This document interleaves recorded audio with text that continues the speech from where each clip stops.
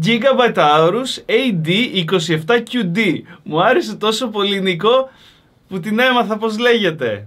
Την παρουσίασε η Gigabyte στη CES την εβδομάδα που πέρασε, πριν δύο εβδομάδες για σας. 27 1440p IPS 144 Hz ε, FreeSync HDR 400. Τα 400 είναι τα NIT, έτσι Νίκο; Ναι. Και από πίσω είναι RGB. Αυτά. Πάνε πάρτιν. Αόρους για την Gigabyte αυτή την περίοδο σημαίνει gaming. Σωστά Νίκο; Gaming performance και RGB. Έπαιξα λίγο στην οθόνη, έπαιξε και ο Νίκος. Έχει ωραία χρώματα. Η πιστότητα των χρωμάτων είναι για gaming, δεν είναι τόσο για. Δηλαδή, είδα το sRGB το προφίλ, είναι αξιοπρεπέστατο. Το default το προφίλ που έχει είναι τόσο sharp και ε, το saturation είναι τέτοιο που με εντυπωσίασε ιδιαίτερα. Κάρτα ήχου, έχει ενσωματωμένη κάρτα ήχου με noise cancellation, με, έχει πάρα πολλές ρυθμίσεις που επιλέγεις που θα κάθε σχέση με το μικρόφωνο για να κάνει τέτοια πράγματα. Μπράβο τους. Πριν πάμε στα software καλούδια που συμπεριλαμβάνει, γιατί ε, μαγιά τους, εκτός από gaming specs, βάλανε και gaming χαρακτηριστικά μέσα. Κάποια μου αρέσουν, κάποια με αφήνουν αδιάφορο, αλλά μπορεί να ενδιαφέρουν εσάς. Πριν πάμε εκεί όμως, Ποιότητα κατασκευής. Έχει μια πανέμορφη βάση, η οποία είναι λεπτή, διακριτική και μεταλλική. Όλη. Η οθόνη ρυθμίζεται καθ' ύψος. Ε, αυτό το swivel. Κοιτάει δεξιά-αριστερά, ή θυμάμαι λάθος, ναι. Με τη βάση στη θέσης της. Και φυσικά μπαίνει και portrait landscape χωρίς να χρειαστεί να την τιλτάρεις. Σημαντικό. Γενικά το έχει από στη βαρύλα. Το ξαναγυρίζω γιατί ξέχασα τη θνησιμότητα και το γυρίζω γιατί φαίνονται εδώ. USB 3 hub. Βγάζει δύο εξόδους, κάνει και quick charge για κινητά άμα έχεις. Πόσο είναι Νίκο, το quick charges? 1,5 1,5 ampere είναι το quick charge. 2 HDMI 2 και ένα DisplayPort ε, 4. 1,4 συν HDR. Λοιπόν, ε, το συνδέσαμε HDMI, παίζει και το HDR και παίζει και το. Εντάξει, φτάνει, το είδατε. Και είναι 10 bit το panel. Α, είναι... Α, γι' αυτό! Ε, δεν είναι μόνο gaming, είναι και 10 bit panel. Δεν το... Αυτό δεν το είδα εγώ το spec, δεν το, δεν το Είναι πρόσεξα. στο κουτί. Στο και κουτί. μπορείς να το ρυθμίσεις από την κάρτα κατευθείαν. Ναι, ανοίγει 10 bit output. FreeSync. Από ό,τι ξέρετε, έχω Nvidia κάρτα γραφικών και πήρα το τελευταίο update μετά τη CES, όπου παρουσιάστηκε και αυτή η οθόνη. Δεν έχει G-Sync, οπότε λέω, α, θα μου λείψει. Ενεργοποίησα το FreeSync με τα τελευταία drivers της Nvidia και έπαιζε κανονικά FreeSync με την 1070 Ti και έπαιζα Overwatch. Ε, κα- προσπαθήσαμε με τον Νίκο επίτηδες να κάνουμε force το... Screen tearing. να κάνει screen tearing. Παιδιά, δουλεύει! Οπότε δεν χρειάζεται να πληρώσει το premium πλέον για G-Sync. Την δικιά μου την οθόνη την πήρα αντίστοιχη τιμή με G-Sync πριν δύο χρόνια. Κάτω έχει ένα joystick, αυτό το κλασικό, το οποίο με βόλεψε. Λοιπόν, μενού, έχει πάρα πολλά πράγματα. Πάμε να τα δούμε ένα-ένα και άνοιξα για να τα βλέπω, γιατί δεν θα τα θυμηθώ όλα μαζί. Έχουμε και λέμε. Πρώτον, έχει ένα dashboard, το οποίο ενεργοποιώντας το, εμφανίζεται εδώ πέρα. Black Equalizer. Λοιπόν, οι IPS οθόνες έχουν βαθιά μαύρα. Ωραία. Και μερικούς δεν τους βολεύει πάρα πολύ αυτό. Ε, γιατί όταν έχει κάτι σκοτεινό, δεν βλέπουν σε σχέση με αυτούς που έχουν τα γκριζοπά TN panels. Κανένα πρόβλημα.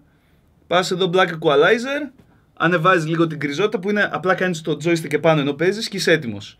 Οπότε έχεις και πιστά χρώματα και έχεις και το cheat για τις σκοτεινές περιοχές. Game Assist. Λοιπόν, Gaming Timer. Μέτρηση προς τα πάνω και προς τα κάτω με heads up display πάνω δεξιά. Ε, gaming counter, να μετρήσεις, ξέρω εγώ, παράδειγμα airdrops σε PUBG, αυτόματα τα, τα μετράει. Refresh rate, crosshair, στη μέση ακριβώς της οθόνης υπάρχει το crosshair για τα παιχνίδια που δεν έχουν, αν θες να ξέρεις που είναι το κέντρο. Επίσης, αν βαριέσαι, έχει με λογισμικό μέσα να σχεδιάσεις το δικό σου. Display alignment.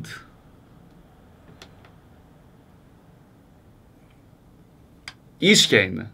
Λοιπόν, έχει ένα τεράστιο μενού με τα settings, τα οποία έχουν και άλλα πράγματα. Ένα, super resolution. Μπορείς να ανοίξεις τη μέγιστη ανάλυση που δέχεται η οθόνη, που δίνει μάλλον στην κάρτα γραφικών ότι δέχεται η οθόνη, ώστε να μπορείς να, μπορείς να ενεργοποιήσεις πιο εύκολα Ε, super sampling analysis. Επίσης κάνει την οθόνη λίγο πιο sharp. Low blue light για το βράδυ για να μην κουράζει το ματάκι σου αν θες να διαβάσεις. Display mode. Μπορείς να αλλάξεις το aspect ratio της οθόνης ή το μέγεθος της οθόνης. Παράδειγμα, μπορείς να την κάνεις 22, 23, 24, να την κάνεις 4 τρίτα κλπ. Είσαι competitive gamer που παίζεις 4 τρίτα, δεν ξέρω. Μπορεί να παίζεις 1 προς 1, δεν ξέρω. Άσε με. Overdrive το είπαμε. Free sync το είπαμε νωρίτερα. Μπορούμε να το ενεργοποιήσουμε από εδώ. Να, ας πούμε, μπορώ να πάω τώρα. Και τώρα είμαι σε Nvidia κάρτα γραφικών με free sync. Και αυτό το βλέπουμε εδώ. Free sync on. Δούλεψε. Ωραία. Ε, τι άλλο; Η οθόνη υποστηρίζει picture in picture και picture by picture. Δηλαδή μπορείς να βάλεις δύο υπολογιστές σε μία οθόνη και να τους έχεις είτε δεξιά-αριστερά ή η μία μέσα στην άλλη. Παίζει κανονικά αυτό. Ε, σημαντικό αυτά τα modes να ξέρετε δεν παίζουν HDR. Μετά έχει το άλλο το κομμάτι, Νίκο, αυτό που κοιτούσα.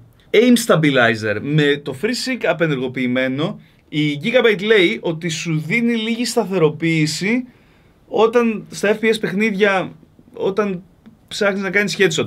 Το ενεργοποίησα, δεν μπορώ να πω ότι είδα κάποια τρελή διαφορά, αλλά υπάρχει. Η περιγραφή της ε, Gigabyte, Νίκο, όταν έχει πράγματα που τρέμουν λίγο, τα, τα, τα κάνει balance να μην σε ζαλίζει τόσο. Δεν σε βοηθάει να σημαδέψεις καλύτερα δηλαδή. Απλά αν τρέμουν και κουνιούνται πράγματα, σε βοηθάει να μην χάνεις τον έλεγχο. Για τα RGB που είπαμε νωρίτερα, φυσικά γίνεται αυτό και με το RGB Fusion της Gigabyte, αλλά και από το OSD. Μπορείς να διαλέξεις, ας πούμε, αν δεν θες να λαμπυρίζει RGB από πίσω, να έχεις ένα συγκεκριμένο χρώμα κλπ. Είναι όλα αυτά συμβατά, ακόμη και αν δεν το συνδέσει με USB, θα παίζει το, το RGB μέσα από το OSD της οθόνης. Αν παίρνεις tab έκρηση Δημήτρη, στην αρχή, ειλικρινά, όταν ήρθε η οθόνη, είπα Μάρε Gigabyte, χώθηκε και εδώ πέρα. Τι ήρθες να κάνεις, περίμενα να είναι. και η τιμή 7 εκατοστάρικα πρέπει να πάρεις κάτι πολύ καλό. Αλλά είναι hands down η καλύτερη gaming οθόνη που μου είχε έρθει εδώ να δοκιμάσω. Αλλά με 7 εκατοστάρικα νομίζω πως τα specs είναι εκπληκτικά. Αν είσαι gamer που έχεις και την κάρτα γραφικών να κάνεις drive 1340p, 144 fps ώστε να αξιοποιήσεις τα hertz, που πλέον είναι λίγο πιο εύκολο. Με μια 2060 που βγαίνει, Νίκο, θα γίνεται, ε; Μιλώντας για 2060 που κάνει drive οθόνη σαν αυτήν, αφήστε ένα like και ένα σχόλιο από κάτω. Άμα θέλετε να την αξιοποιήσουμε αυτή την οθόνη, να κάνουμε ένα PC build που μπορεί να παίζει παιχνίδια να την αξιοποιήσεις τέλεια. Ε; Gigabyte. Βρε άλλη, εγώ δεν σε στέλνω πίσω. Αντίο. Έχει χερούλι να την κουβαλήσω εύκολα.